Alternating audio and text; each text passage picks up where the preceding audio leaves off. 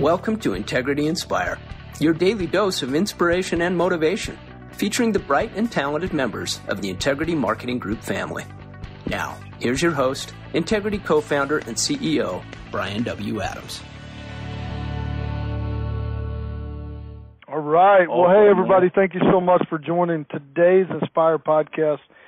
So excited to uh, kick off this great week uh, with all of you. I hope everybody had an incredible weekend and uh, just could not be more excited to uh, uh, to kick this off. Uh, this weekend, my family and I spent a little time on the internet watching some of the the Integrity Idol contestants audition tapes. I oh my gosh, I am I'm beyond words at how talented some people are. I mean, we have some amazing talent with in the Integrity family. I mean, we got this guy Patrick Cash.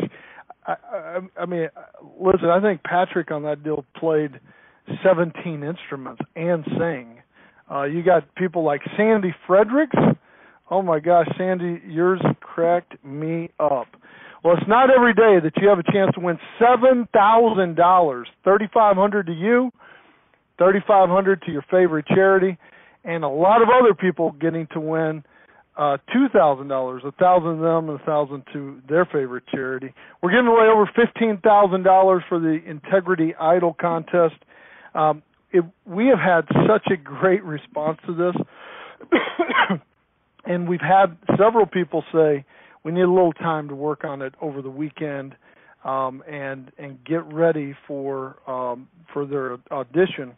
And so we've extended the entry deadline to this Wednesday at 9 a.m. Central. So whenever we whenever we start this call on Wednesday, the uh, the submissions are up. So please, please, please get your submissions in even if they're they're just fun. I mean, and there's there's a lot of just fun ones like Sandy Fredericks. If you hadn't watched that one, that was that one was uh, that one was priceless. But uh, um, seriously, please uh, give it a shot and have some fun with it. I tell you what, this has been just an incredible time and a lot of fun for all of us.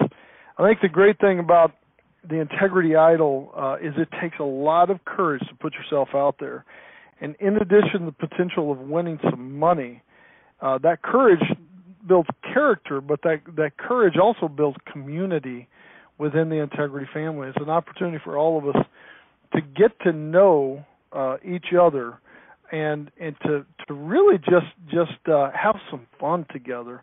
Um, and today's guest knows all about what it takes to have courage and to build a strong community. Um, and, and to really risk something out of your comfort zone. Uh, and he's been doing this for his entire career.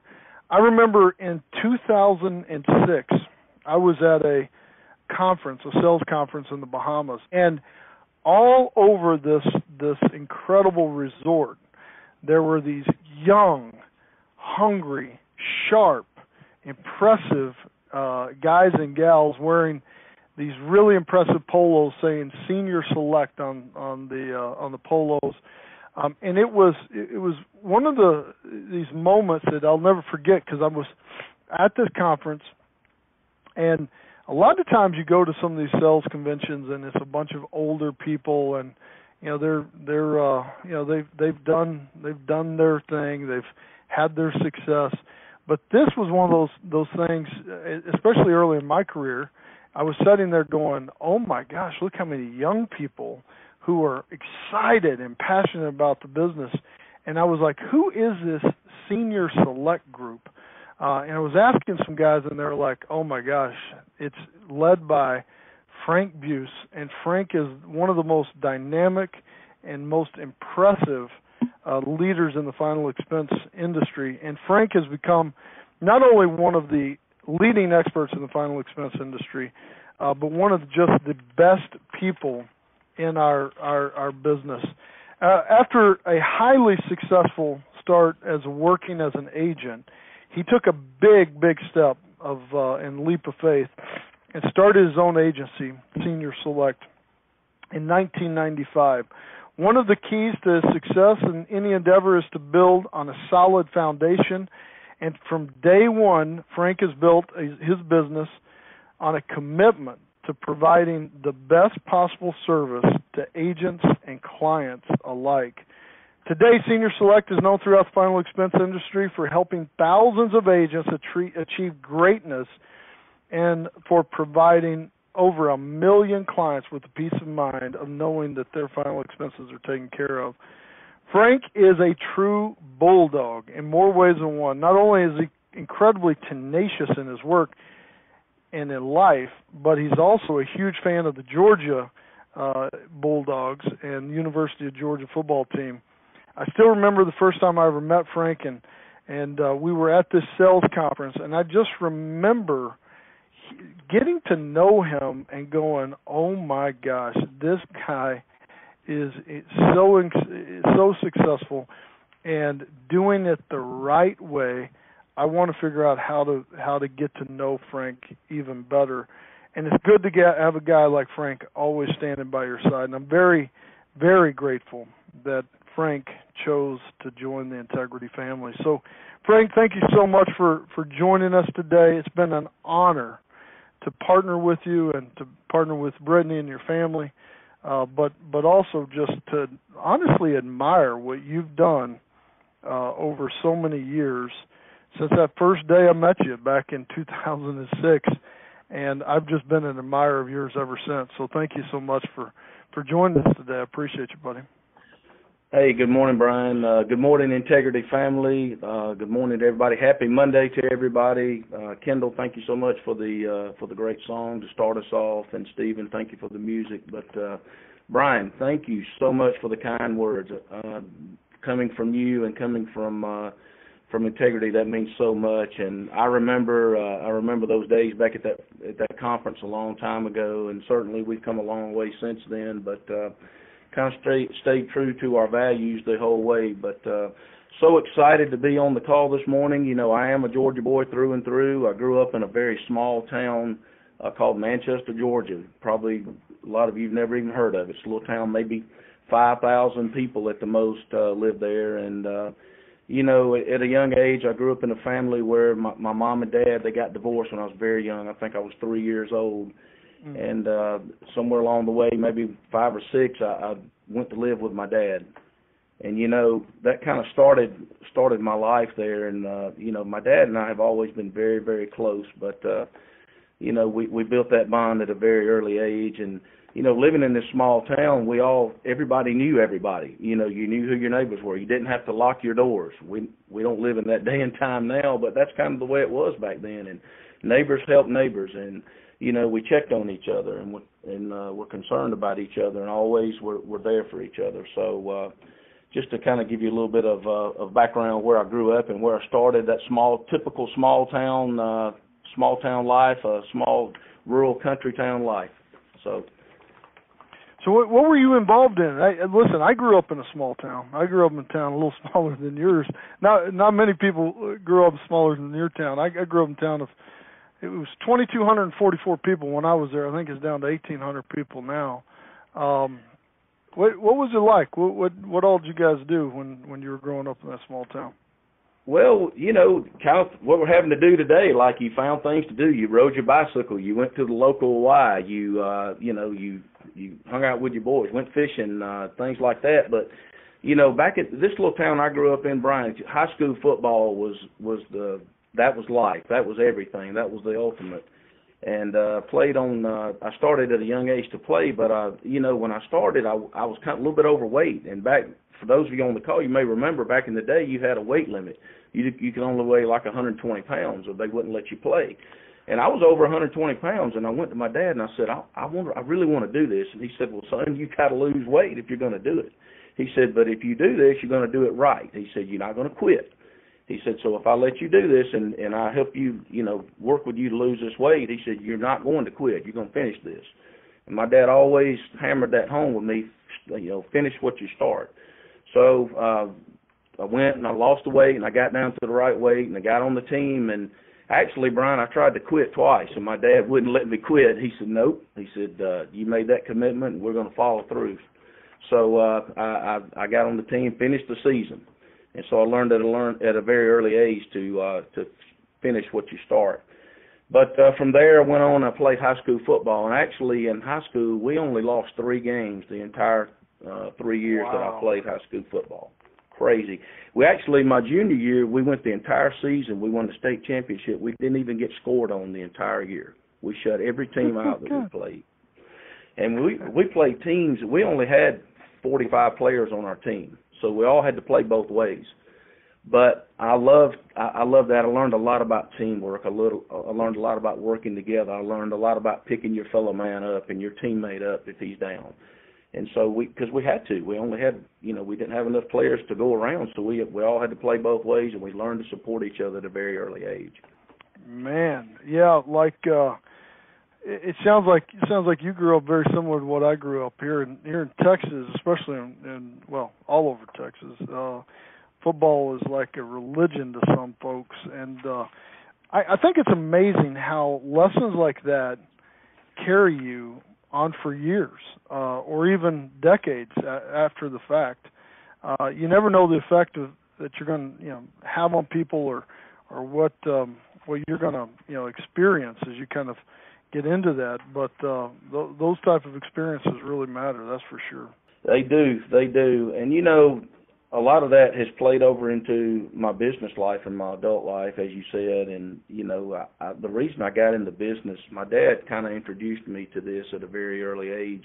He used to uh, work for A.L. Williams, for those of you who've heard them. But uh, I would go to these recruiting meetings with my dad, and I was like 13, 14 years old, and and, and I was just like, wow, I can't believe this. All these people in here, and, and uh, they're coming in here and they're they're recruiting. They're bringing other people in, and every week those meetings would or every month they would get bigger and bigger and bigger. And I was like, this is unbelievable, and uh, just uh, was got to see that at a very early age about how to uh, how to grow and multiply and how to help others and bring others into the business. And so uh, that kind of laid the groundwork for later on when I did get into the business when I got older and, and was grown.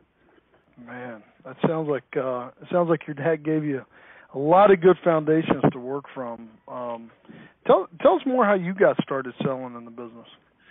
So this is funny. I, I was in college. I was in uh, I was in my third year of college, and uh, just honestly, Bryan, I'd gotten bored with it.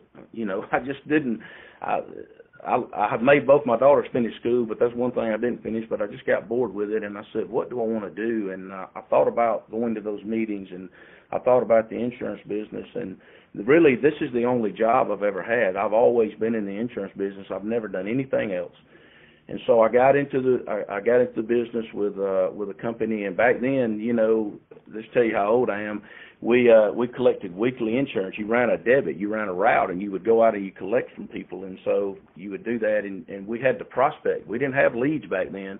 We had to prospect and I always remembered every Friday to my staff manager I had to turn in forty names of people that I was going to talk to the next week. And so we had to we had to go out and, and get these names, and the next week you had to call on those 40 people, and then you had to come back in the following Friday and turn in, you know, who you had sold and who you talked to and what the results were. But uh, so I learned very early in my career about prospecting and about talking to people, and and and did that for a while, and then. Uh, I finally moved on over into the final expense business, is what we call, it's what we know it as today, and uh, worked for several carriers and kind of sat back and learned and uh, was introduced to leads. And I, when I got leads, I was like, wow, I can't believe this. Lead, this is crazy. If I've got if I've got 20, 30, 40 people that are or have already expressed interest about uh, buying coverage to go see every week, there's no telling what we could do and so I was so excited about that, and uh, just had great success with it. You know, every week we had these people already kind of lined up to go see. You know, you had people to go call on. So learned it, it very early in the career about the lead business, and uh, that's kind of what's driven our business today to where we are now is is having the leads, and we have focused on that. But uh, started that that kind of transformed around 1995. I started Senior Select. I decided, hey, had great success as an agent um, ultimately had my best year in 2001, but uh, I'll get to that in a second. But we had great success as an agent. I started Senior Select, and you know, one thing I wanted to do, I wanted to focus on leads, and so we started our lead program. And I literally would have kids come over on the weekend to my house and uh, my my children's friends, and we would stuff envelopes. I would because I didn't have a lead machine back then. And we would sit around the weekends and we would stuff envelopes by hand and we would just do whatever we had to do to get those ready to go out in the mail. And so we started mailing leads and then I finally bought my first lead machine. I bought it from an old power company uh, here in Lagrange, and uh, just you know, I was so excited to get that first piece of equipment. So I bought that machine, and then I bought another, and then we outgrew that one, and I bought another, and then we outgrew that one, and before I knew it, Bryan, we were doing two million pieces of mail a month, and uh, it just got to be somewhat overwhelming. And I said to myself, you know, I got to make a decision here. Do I want to be in the lead business? Do I want to be in the insurance business? And so. I ran across a girl that I graduated high school with, and uh, it's funny how life comes full circle. And she was actually doing print work for us, and she said, you know, if you'll show me how to do this, I could do this these leads for you. You know, could, you could just let me outsource, and I'll do it for you. And I said, well, okay. So I kind of taught her how we did it and what we looked at, the demographics and everything, and she started doing that for us. And um, we had, you know, that just took a lot of burden off me. But when I began to hire people, Bryan, I said to myself, you know, I can't. How can I get these people to do kind of what I've done in personal sales? And the first thing I said to myself, I got first thing I got to do. I can't ask people to go out and give me all they've got unless I give them all, you know, show that I'm giving all I have. In 2001, I set out on a mission. I said I want to go out and have one year that I write the most that I possibly could in one year. And I did this because I met, I met a guy at a sales conference. He said, "There's no way anybody will ever do over 300,000 in premium." And I said, "Well, I'm going to do it." And so I get I set out that year and I worked 50 to 60 leads a week. Even worked on Saturdays and ended up I wrote $411,000 in annual premium in one year by myself. And so led three different companies in production for that year. So I had that year that and I, I said to myself, you know, there's no limit to what you can do if you make up your mind. If you if you make up your mind you're going to work hard enough, you can overcome anything and you can do anything you want to do in this world. Something my dad always taught me growing up and had that great year and uh that kind of springboarded us to hiring people and bringing in and saying, "Wow, you know, if he can do it, anybody can do it."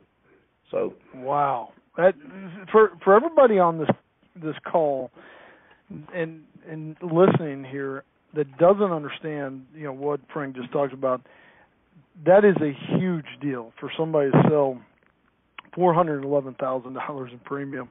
He was number one for three different insurance carriers. Again, that is that is just almost I, I don't know if I've ever heard of anybody being number one for three different insurance carriers uh, at at the same time. Um, Frank, you were you were killing it as an agent um, what what made what made you make the leap of, of starting Senior Select after you, you'd been you'd been building this business and building your own business? A lot of people would just said, "Man, you know what? It's easier to play, you know, be on a one man band and, and play for myself." What what led you to start Senior Select? Well, Bryan, one thing you know, when whenever you're successful as an individual, a lot of people see that, and so they they really come to you and ask you, "Hey, what are you doing?" And so I had a few guys that I knew came to me and said, "How are you? How are you doing this? How are you making this money? How are you having all this success?" And I said, well, "You know, I could teach these guys how to do this." And so hmm. I, I that's kind of where we started. So I hired one guy, and then he told another guy, and then another, and another. You know, the the power of one, so to speak. I know we've all heard that statement before, and so it just kind of just kind of ballooned out, and the next thing you know, we're we're down there in the Bahamas where you met us with a bunch of guys running around with senior select shirts on. It just it happened that quickly, you know. yeah, that that uh it's funny. Some some of the best businesses in America don't start up start out with a really thought out business plan. It's just, hey, I want to help people. I want to help them get started, and then one thing turns to to another, and uh, all of a sudden, you you um I mean, geez, it's it's amazing. I Scott Riddle sent me a text um the other day, uh yesterday actually, and uh and was so excited about having you on the call and he said, Bryan, I just want to tell you that Frank Buce was the best final expense agent I ever saw. I watched him grow from that to a great manager, and now I'm proud to call him a partner. I know you respect Scott as much as I do, and when I got that, I wanted to share that with you just for the simple fact that, that man, I um, that, that's a that's a big compliment coming from a, a really amazing human being. Um, but that that is, uh, I mean, he's and he's seen he's seen a lot of agents over over the years, so the fact that he he says you were the best he's ever seen is really really incredible. So uh so so you you guys built up senior select and and then and then what happened? We built it up and ultimately built it up to the point we were doing like 20 million a year in premium, which is a lot back in you know the early 2000s. We were just killing it and uh you know i had a guy that that i was involved with a partnership and you know as as sometimes happens uh those things split up and fall apart and people people go separate ways. And you know these are this is one of the challenges i had in my career bryan. And you know when that happened i i said to myself what do i do? And ultimately ended up me and my uh my office manager tina shaw who's been with me for 14 years. And Tina's amazing. She she is. just one of the most amazing people, isn't she? She certainly is, and I I tell you what, there's no way that we could even begin to think about doing what we do without her. But she stayed with me, and she and I were sitting in this office where I'm talking from right now. We were sitting on the floor and on the steps, going upstairs, asking ourselves, what do we do? You know, and I was so I started over. You know, I, I got some encouragement from my great friend, Mr. Allentown. I got some encouragement from Scott Riddle, who you just spoke about, who is probably the finest man I know in this world. And I got encouragement uh, from uh, Tim McCoy. And, and these are guys I work for, Bryan, and that's how they know about my production because I work with these guys. They were they were my upline, and so many of the things that I've learned and done, I, I learned from them. And so uh, I said, they said, hey, don't worry about it. We'll help you. We got your back. Just go back and start doing what you know how to do and what you're good at, and and you'll build it back. And so that's what we did. You know, you can either lay there and cry about it and get upset about it, or you can pick yourself up and dust yourself off and start over and build it back better than it was before. And so that's what we did, and uh, we came back from it. But I learned many things from that, uh, Bryan. One of the, one of the main things I learned is your relationship with people and your relationship with your agents and your relationship with your coworkers it has to be about something more than just money it has to it has to go deeper than that and i think that has a lot to do with the the success of integrity marketing group is because the relationship that we all have is is it's about more than just money. It's about helping each other. Everybody brings what they do well to the table and we all share that with each other and we all work together. And when you start doing that that's powerful. You're creating something special. And that's one of the things we did when we built senior select back. We wanted to be a be different. We wanted to let our agents know you know we do things differently here. We're going to have your back. When you need something we're going to help you do that and we're going to be there for you it's one thing if you go out I, I know Scott Riddle always told me you know if you go catch a fish for a man you can feed him for that day but if you teach that man how to fish, then you can he can feed his family for a lifetime. And so that's what we try to do here. We want to build careers for agents. We want them to to be able to feed their family for a lifetime. And you know that's that's what we've always tried to do is focus on people, focus on service, focus on doing for others. And if you do that, I promise you the money will come. You can still make good money and and give good service to people and be there for them. So that's kind of how we built it back, and we focused on that when we when we did that, and it certainly worked out well for us. Ultimately, culminating with uh, with us being asked to be a part of Integrity Marketing Group, which is probably the best decision I ever made. You know, he you're talking about men that I heroes to me, people that I look up to, that I grew up in this business with, that I'm now partners with. And you know, when you have men like Scott Riddle, Allentown, uh, Brian McCann, Avi Osseline, uh, Tim McCoy. I can't tell you how much these people have done for me, been there for me over the years, and and my passion now is I want to pay that back. I want to give that back to these younger guys who work with us. I want to do for them what others have done for me. That's what it's all about: is passing down, passing this down from generation to generation in this business, and that's what I want to do, and that is my passion, and that's what that's what we focus on, and I think that's going to be our future. And you know, if you do all these things and you do them right, the money will be there. Man, I listen. First of all, thank you for sharing that story. Um, and I agree. That's exactly what the integrity platform is all about: helping each other through challenges, finding ways to break through adversity, and being linked together makes us so much stronger. Uh, frankly, all of us linked together can help us get through uh, issues and problems that that some of us individually might not could have ever gotten through. And I, I know I personally sleep a lot better at night, knowing that I've got all those people that you just mentioned and a lot more uh, that are are working hard day and night, as as hard or harder than I am, trying to figure out what are the best ways for us to attack these issues and to to grow the business and to um, to to continue to really uh, help more people, and it's it's incredibly powerful. Frank, there, there's not many people that could have gone through what you went through. So you you were the number one agent for three different carriers. You decided to teach others to fish, as you talked about, and decided to I want to help others, and I want to help others see success in this business. So you you started giving away all your secrets and training others to be successful. Um, and you built up one of the largest final expense agencies in the U.S. Um, and were just crushing it. And then because of issues outside of your own uh, control and having a partner that that that frankly um, you know did you wrong, um, you, you you almost lost it all. But you and Tina sitting on the steps and y'all saying we got a choice to make. We're at a crossroads do we do we fight this out and do we build back from the ashes, right? Or do we do we fold up the tent? Um, and and I, I I tell you what, man, you thankfully you guys chose to um, to to um, you know to to to fight it out and to build it back up. Allentown just sent me a text, and I, I got a I know you you respect Alan as much as anybody, and uh, he, Alan said Frank learned many years ago that checking his ego at the door and putting others way out in front of himself would be the difference maker inside of Senior Select. And the 30 years he's Alan said he's been working with IMOs, he said I've never met anyone anyone that fights as hard for his agents as Frank does.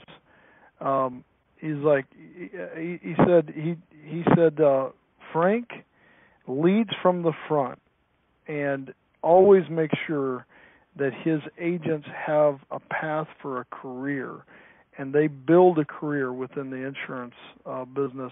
And Frank never speaks about himself. He's always talking about how his producers are doing in ways that they can continue to grow uh, and expand.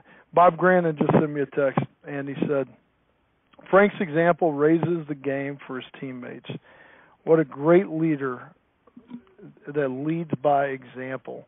Uh, those are what those are what your peers, these are what your partners are saying about you, man.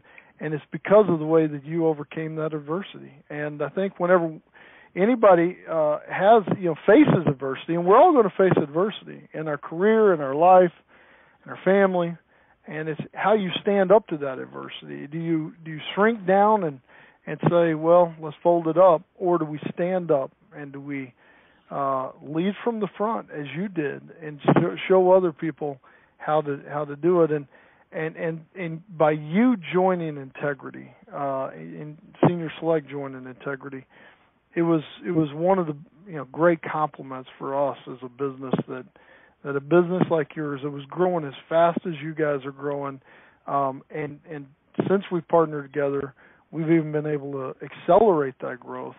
Um, has been just a tremendous joy for for me and all of our partners. Uh, and so, Frank, I just want to tell you thank you so much for all that you do and all that you've done to to make uh, this business such an amazing business. And uh, and and really thank you for all that that you do to uh, help others and to recognize others uh, overall. So thank you, my friend. I really appreciate you. Well, Bryan, thank you. And again, it's not about me; it's about all of us as a team. And you know, like you said, we're certainly you're always stronger together, and you're always better together. And I tell you what, to get compliments from people like Allentown. Allentown's probably my best friend in this world, and he's just uh they don't come any better than Allentown. Bob Grannon is a the best. He just does a great job. He he has he's seen both sides of it, and he can work. He works so well with us on the life council and with the home office, uh, the carriers we deal with. Uh, so glad you brought him on to the team, and uh, just been a joy working with Bob in a more close environment for the last year. He's just been great. I just love working with him. But uh, anyway, buddy, I, I, Bryan, I'm so glad to be a part of this. It's the best decision we ever made. By the way, last year we had the biggest year we've ever had, even before the breakup or the split up, and so it was certainly uh, the, the right decision for me. And now, not only do I have uh, the support of Alan and Scott and Tim and Robbie,